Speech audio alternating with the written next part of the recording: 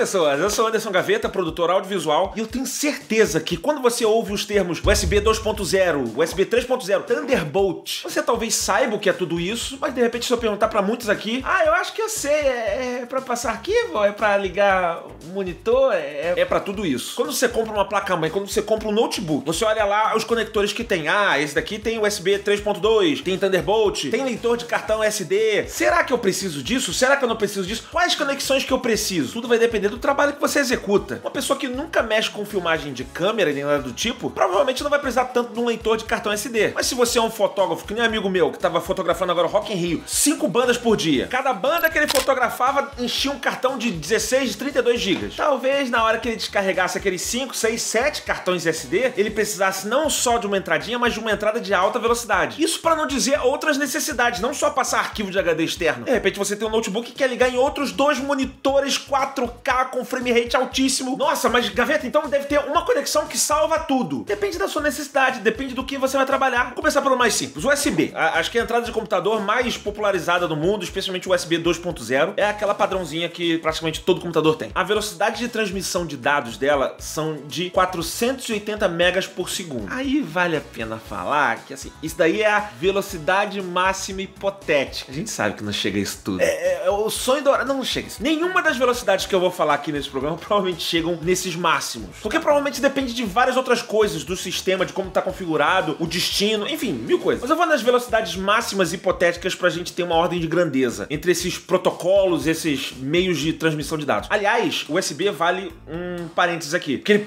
pode causar confusão. Uma coisa é o protocolo, ou seja, qual o método utilizado para você transferir arquivos. Pode ser USB, pode ser Thunderbolt. E você tem o nome do adaptador, né, que é um encaixe físico, que também é USB o nome no caso. Você tem USB A, USB-B, USB-C. USB-A é essa entrada que a gente tá muito familiarizado aí dos computadores. USB-C é aquela entrada fininha que agora a gente tá vendo em muitos celulares. Então é o mesmo nome para duas coisas diferentes. O nome desses dois encaixes que você conhece são USB, mas por exemplo, o Thunderbolt, que é uma transmissão de dados bem mais rápida, ela usa um plugzinho USB-C é, é, é, é... Calma, parece complexo. Vamos começar pelo básico. USB 2.0, ele transmite dados a, no máximo, 480 megas por segundo. Aí foram saindo atualizações. Tô vendo aqui. USB 3.0 passa dados a 5 gigas por segundo. 3.1 a 10 gigas por segundo. 3.2 até 20 gigas por segundo. Como é que eu vou ver a diferença entre eles? Visualmente você não vê. A única coisa que eu posso dizer é quando é uma entrada USB 3, 3.0, 3.1, 3.2, é aquela entrada azul. Isso é o que ficou padronizado. Agora, pra você saber se é o 3.1 ou 3.2, provavelmente com informação do fabricante. Ou então você vai passar um arquivo e você vai ver o tempo que vai levar. Para grande parte do uso diário, essa conexão já serve, né? Vou passar arquivos aqui, um USB 3.2 já passa arquivos de uma forma bem rápida, né? Tô com HD externo, tô ligando algumas outras coisas aqui para passar informações de um lado pro outro. Ah, dá para ligar um monitor externo usando um cabo USB? Depende do USB e depende da resolução que você vai enviar essa imagem. Quanto maior a imagem, né?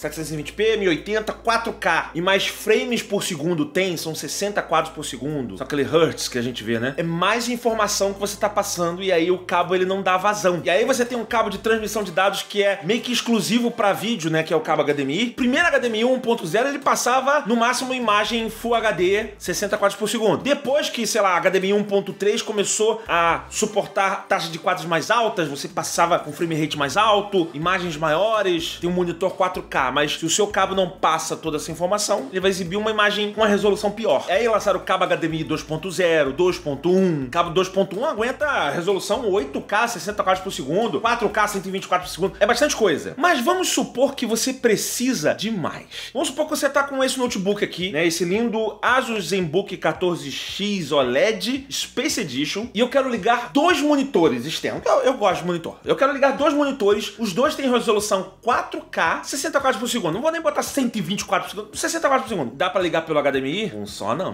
Uma entrada HDMI, você só vai ligar um monitor. Se tivesse duas saídas HDMI aqui. Mas para isso você tem um outro protocolo de transmissão de dados maravilhoso chamado Thunderbolt. Que diferente do USB 3.2, que é o mais avançado por enquanto, que passa até 20 GB por segundo, o Thunderbolt 3 passa 40 GB por segundo. O dobro do USB 3.2, que é o USB mais avançado no momento. Tô falando isso porque esse notebook aqui, por exemplo, tem uma entrada Thunderbolt. E ela é um USB-Czinho, pequenininho. A partir daqui você consegue, você bota um adaptador ou seja o que for, você consegue daqui jogar ainda duas imagens 4K, 60 quadros por segundo, coisa linda. Ou então outra coisa, por exemplo, eu tô com esse notebook aqui tem um processador Intel i7, que é cavalíssimo, é, é o termo que eles usam lá na, na, Intel, cavalíssimo. É um Intel Core i7 2700H, 12 geração. Eu faço edição com isso aqui. Mas aí vamos supor que eu preciso rodar uma aplicação 3D de alta performance. Eu tenho como colocar uma placa de vídeo externa. E placa de vídeo, você sabe, pega uma série RTX aí NVIDIA, sei lá, a gente sabe que a transmissão de dados de placa de vídeo é muito alta. Não, não dá para você ligar uma placa de vídeo num USB, mas dá para ligar num Thunderbolt. Então o Thunderbolt,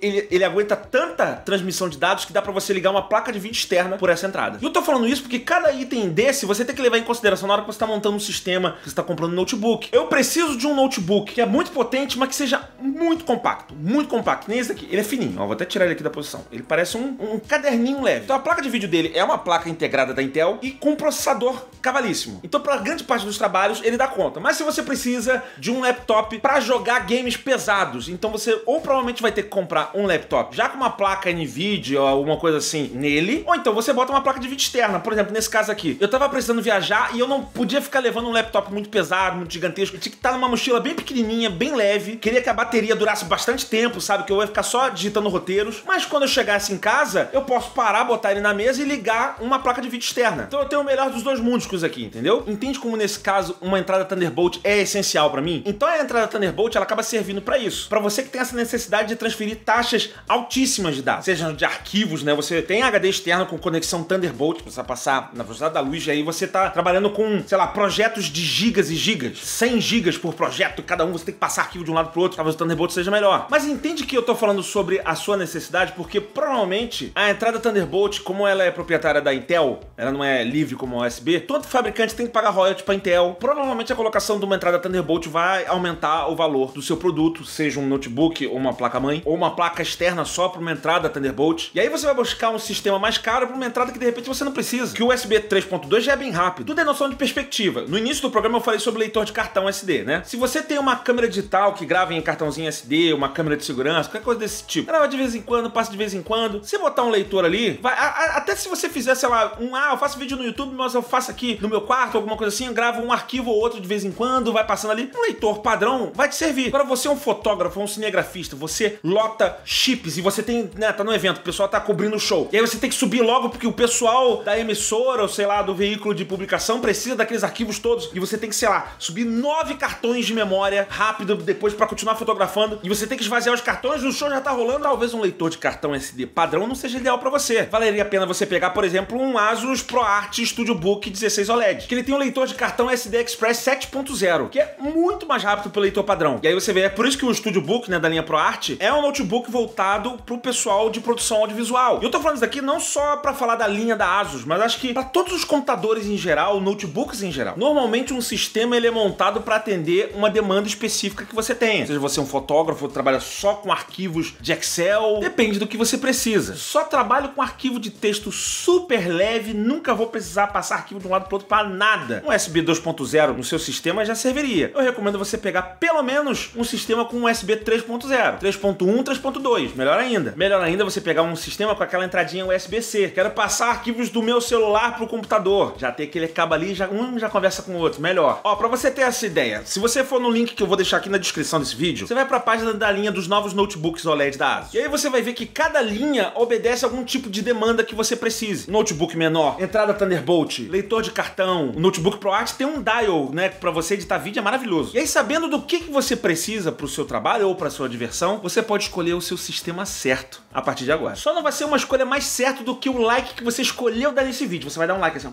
que você vai dizer pra gente que você gostou desse conteúdo, a gente vai produzir mais disso aqui. Aí você vai ficar empolgado, vai se inscrever no canal da Asus Brasil para ter mais atualizações, dicas maravilhosas e todo mundo fica feliz. Aliás, eu recomendo mesmo você se inscrever porque ainda vão ter mais dicas aqui nessa série, tá? E qualquer outra informação que você precise, na descrição desse vídeo aqui. Beijo.